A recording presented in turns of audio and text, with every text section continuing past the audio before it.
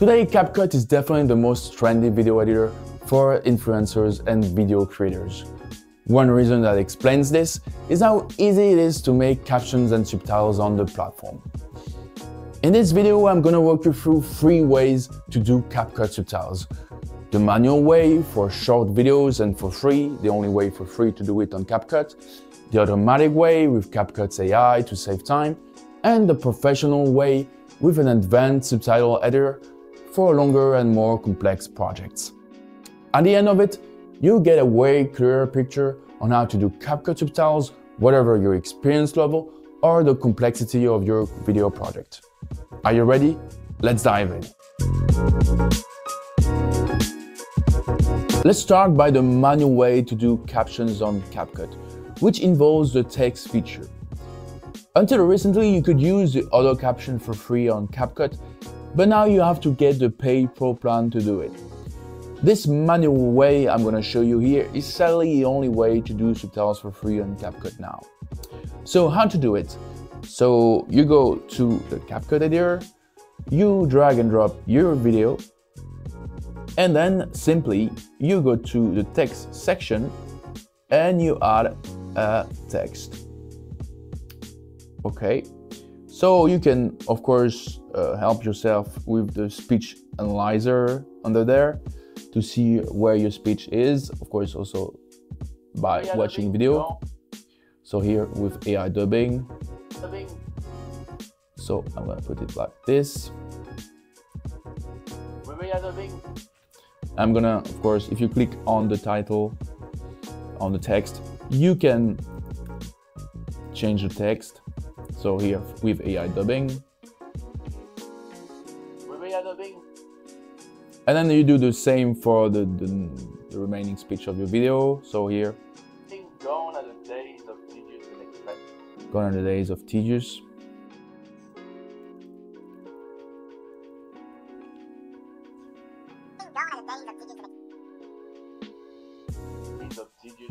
Okay, so now you have that here. You can, of course, format your uh, subtitles in a different way. Put it lower. You have some colors that you, some style I can change. Like this, maybe it's better. And you can do it uh, for the others. I think you can copy past. Then the same, the same style to, to do it faster.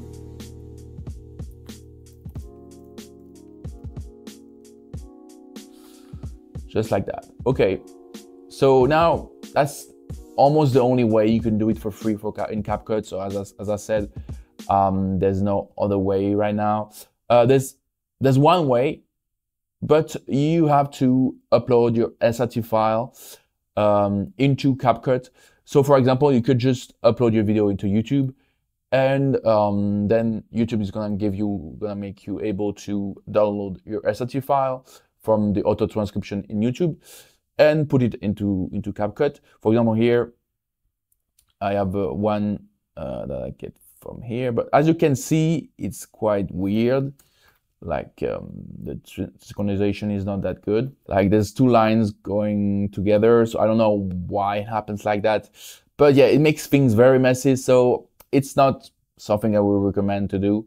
Of course, the things the thing I would recommend you to do is the next uh, approach, which is the automatic approach. Okay, now let's talk about the automatic way to do CapCut subtitles.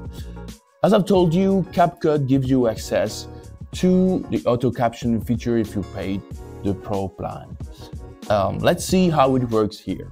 So you go to the CapCut editor, you drag in up your video, and then you go to the caption section. You are in the caption section, so here you can choose the language that you want to get for your subtitles. So you can here just get the same language than your video, so English, or you can also do translated captions. So for example, uh, bilingual, bilingual captions like in French or something like that. So here we're just gonna keep it in English. So it's generated quite fast, so you don't have to wait any any time. It's already done. As you can see, there's a lot of captions that are quite synced in with the speech. Um, there's some typos here and there, so the, the, transcription is not optimal, it's not perfect. So you have to make uh, quite a lot of changes, I have to say. Uh, less of quality than other tools you can find on the market, but it's, it's quite good. Uh, so to do that, you go to the caption uh, window here um, to change, uh, for example, the text. So to do that, of course, you just check it by yourself by playing. So here, as you can see, with AI dubbing, gone. So the um, alignment of the subtitles, uh, how the subtitles are are made is not quite good. So here, as you can see, it jumps uh, from one subtitle to the other uh, with one word, like in the middle of a sentence. So that's not really good. But um, you can you can keep it like this if you want, uh, with header being gone other the date of this. Okay, so yeah, you can change uh, the, the, text in every in every uh, captions like this. Um, if you want to format uh, the subtitles to make it look better and engaging, um, it's your luck because CapCut has a lot of templates, subtitle templates that are really really nice and catchy for the eyes. Um, I think it's one of the best library of subtitle templates I can find uh, in the market. I have to say, I have to agree. There's especially this one, which is really good. Um, as you can see, uh, the emojis are personalized to the speech of the video, so that's really, really nice. Um, yeah, as you can see of your video, and then there's this emoji that appears, so it's really, really good. Um, so you can you can try it. Um, there's some problems from time to time in terms of synchronization, but that's that's quite good. Um, yeah, so that's how you can edit the subtitles. If you want now to export the subtitles, so there's two ways. Of course, you can just keep it like that and export the video uh, with the subtitles, uh, or you can just go here, captions, and you put the format that you want and you get just the SRT captions uh, just as you want. Okay, so then that's perfect. Uh, you, you can do it like this. But I have to say also, if you want to do a longer video, if you want to do a movie, something like very high quality with more complex audio to handle, I have to say that it's not the best tool that you can use to subtitle a video. There's other tools that are more professional and allows you to do it with an editor that is more precise to make the edit of your subtitles. And I'm gonna show you this tool, but for like social media videos, just some podcast. I mean, it's, it's quite okay to work on with CapCut. But the next tool I'm, I'm going to present you here, the professional tool, is also quite good. So let's see how it works. So let's talk now about this professional way to do CapCut subtitles. The tool is called CheckSub and you can access it at checksub.com. So you go there, you click on login, you register an account there. Um, you, you, you get access to a free trial uh, that will give you access to free credits to subtitle your video. So then you, you can upload your project. Um, so the project is uploaded now. It's quite fast, as you can see. Then you choose, of course, the language uh, that you want to subtitle here. I'm just going to keep the same language. And um, you can already choose a template style. So for example, I'll choose this one. And uh, let's let's wait a bit. Now you get access to the CheckSub subtitle editor. And as you can see, the transcription is, is, is quite of good quality. There's no mistake. I think uh, uh, that you can see here, all the, the speech is well uh, transcribed. Um, that's, that's, that's good.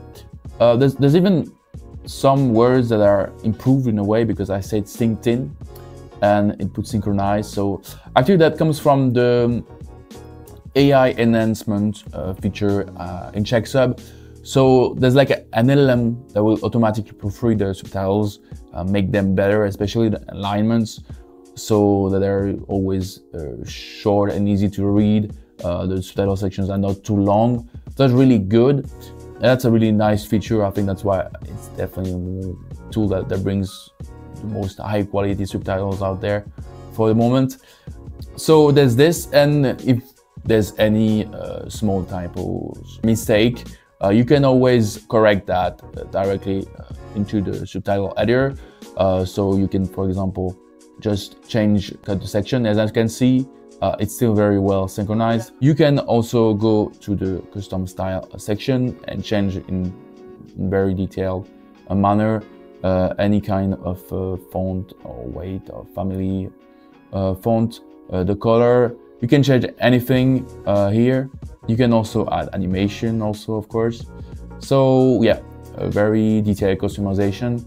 And when you've done with that, you can go to export and you can uh, export the video with built-in subtitles by clicking on with subtitles here or you can uh, export uh, SRT uh, subtitles, uh, the VTT SRT subtitles.